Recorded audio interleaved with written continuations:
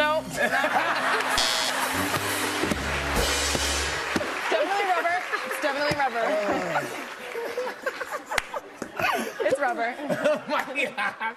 It's just. I hope they're new. Like, are Yeah, they they're worn? I don't know if they're war- used Crocs or whatever. Kendall Jenner bites into a croc and some other shoes while playing a game of food or not food with Jimmy Fallon.